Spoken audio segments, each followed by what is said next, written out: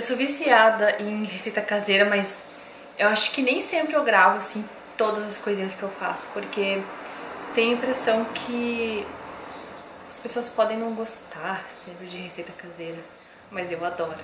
Olá, gurias e gurias, tudo bem? Então eu tô aqui de cabelo preso e sem rímel e sem filtro, porque hoje é dia que eu faço algumas receitinhas caseiras, máscara, cabelo, pele e tal, e aí eu também já gravei vídeos hoje mais cedinho, e aí eu pensei assim, eu vou compartilhar essa dica com o pessoal aqui, porque eu acho que vale a pena. Essa, essa receita caseira que eu vou fazer agora, na verdade serão duas, e serão em dois vídeos para não ficar muito longo. Então vai ser os dois vídeos tudo do mesmo jeitinho, porque eu vou fazer as duas hoje, né? É o meu dia de fazer. A receita caseira desse vídeo, ela também tá é, tem um videozinho bem rapidinho dela no canal 100% Beleza, que é o meu outro canal, que eu tenho aí um canal paralelo, que é onde eu solto a minha imaginação e coloco lá umas receitinhas assim, coisa básica, coisa da vovó, que eu acho que aqui o pessoal não iria curtir muito, eu acho.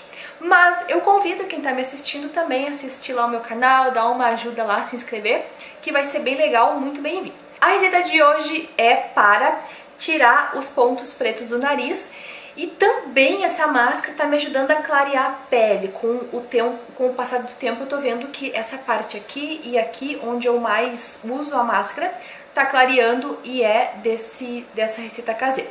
Tá, como que eu faço esse negócio todo?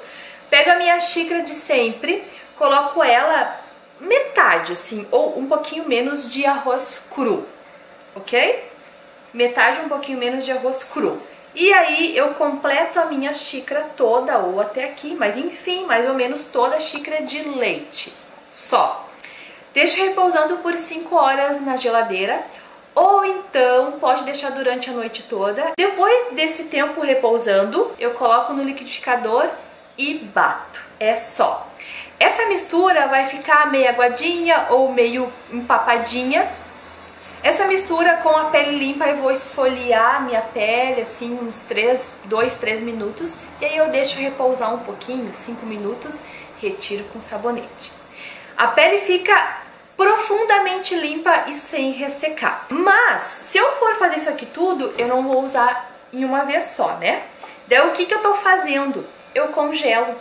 Eu pego aqui a minha forminha de gelo de máscara facial e congelo. Gente, isso aqui vai ser para um outro vídeo, esse que eu falei para vocês que teremos, tá? Então aqui, ó, é o leite com o arroz. Tá até soltando aqui porque tá calor, já tá descongelando. Eu coloco aqui, esse aqui eu tirei porque eu vou fazer agora. Sempre tenho duas formas cheias de receitinha caseira, eu adoro congelar. Então tá aqui. E aí, gente, como eu já tô com a pele limpa, né?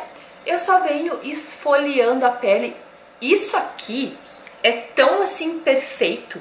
É uma receita caseira tão maravilhosa, tão tudo, tudo, tudo de bom, que pode passar no corpo, no pé, sabe? Onde tem estria. Gente, isso aqui dá uma regeneração na pele incrível mesmo.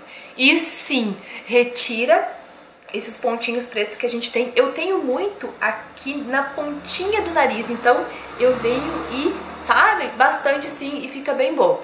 Aqui até nem tenho muito e tá bem clara essa parte, parece que às vezes eu passo alguma coisa pra clarear, assim, tipo um corretivo, um negócio assim, mas não. Não sei se na câmera dá pra ver, mas aqui, assim, parece um fantasma, é aqui. O leite, ele é um hidratante natural pra pele e ele devolve é, como que fala, devolve o óleo natural que a gente tem na pele, devolve a gordura natural da pele. Então isso é muito maravilhoso para a pele. O arroz, então nem se fala, né?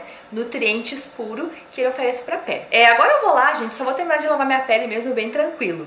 E aí eu volto com outro vídeo da minha outra receitinha, que também é maravilhosa. Muito obrigada pela companhia, um beijo para vocês e até o próximo vídeo.